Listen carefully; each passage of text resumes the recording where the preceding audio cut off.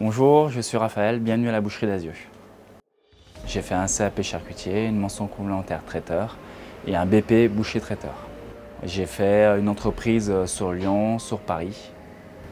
Et ensuite, j'ai été euh, en tant que salarié pendant 4 ans et je me suis mis à mon compte. Actuellement, j'ai 33 ans. J'ai construit mon entreprise à 25 ans sur la commune de Genasse, dans le Rhône. Chez mon ancien patron, j'ai pu avoir toutes les responsabilités de l'entreprise. Et c'est en fait à partir de là que j'ai décidé de me mettre à mon compte. Quand j'ai ouvert, j'étais seul. J'étais seul et maintenant on est une équipe de 6 personnes. J'ai euh, créé un site de e-commerce. L'idée m'est venue parce que, à force d'entendre autour de moi les, les, sites et puis des amis qui me disaient de plus en plus qu'ils commandaient tout par internet, je me suis dit pourquoi pas adapter ça à l'artisanal, en fait, au métier de bouche. Et c'est d'où est venue l'idée. Et en fait, j'ai intégré à ce projet-là euh, d'autres commerçants de ma ville pour créer de la proximité du local avec un fromager et un caviste pour compléter l'offre en fait de la boucherie. Le site a été créé il y a à peu près deux ans. Ça s'appelle les Halles de Jeunesse. Un site, c'est comme pour moi un deuxième commerce.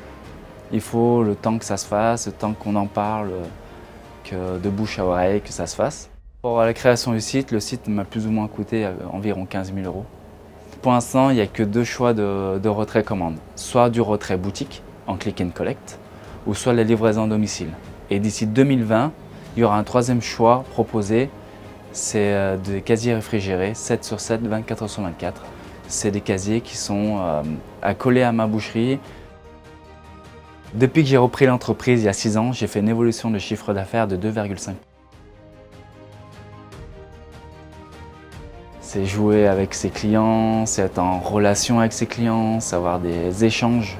Vous cherchez spécialement du saucisson brioché Il y a beaucoup de personnes qui nous la recommandent. Qui est très importante dans un commerce, c'est d'avoir beaucoup d'échanges avec ses clients et de discuter avec eux pour partager des bons comme des mauvais moments.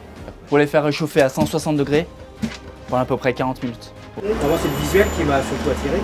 Je dirais euh, les quelques photos que j'ai pu voir, etc. Un des plus beaux compliments qu'on m'a adressé, c'est qu'on est une entreprise jeune et dynamique